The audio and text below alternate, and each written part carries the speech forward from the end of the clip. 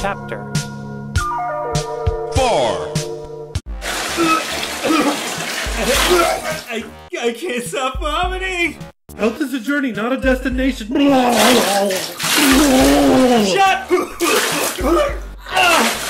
I'm just trying to help. You did this to me! Dude, chill. The flu did this. Don't kill the messenger. The flu isn't a message! I'm not mad at you. I'm mad at whoever got you sick. It must have been that free hugs guy at the mall. Why would you hug him? Because I can't just break a man's heart like that. You sure it's not food poisoning? Do you seriously want to have the dump cake argument again? No. Well, eventually, but this could be food poisoning. Can your insurance drop you for that? Shut up!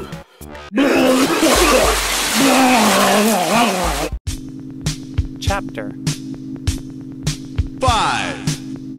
How are you feeling? Still vomiting. Do you need aloe vera? For what? This may not be the best time, but I've noticed you have really dry skin. I might have the flu and or food poisoning. Word. But dude, your skin is a living organism. It's part of your body. Oh, word? Look, anybody can have healthy skin. Look at my face. Go on. Feel it.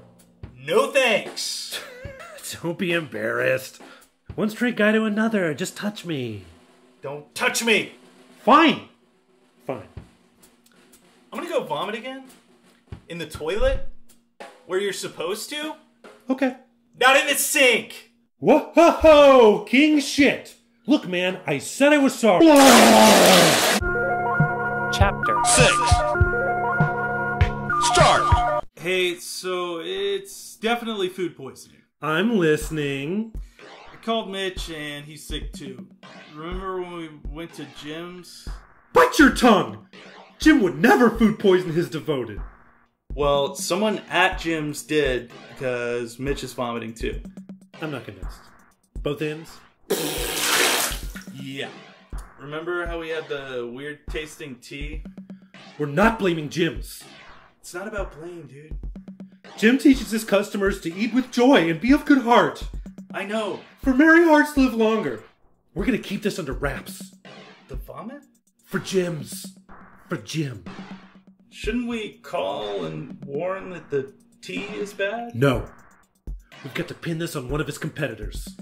What, like a Denny? Perry's, Benihana, Ruth, Chris. IHOP? Jim can handle IHOP. We've got to think bigger. McDonald's? I'm dialing. Which one? Oh, uh, hi. I was at your McDonald's two days ago and I ordered a large, uh, unsweet tea for here. And now I'm like really sick. I'm like vomiting and stuff, so I think y'all gave me food poisoning. What'd they say? It's done. They're gonna take care of it.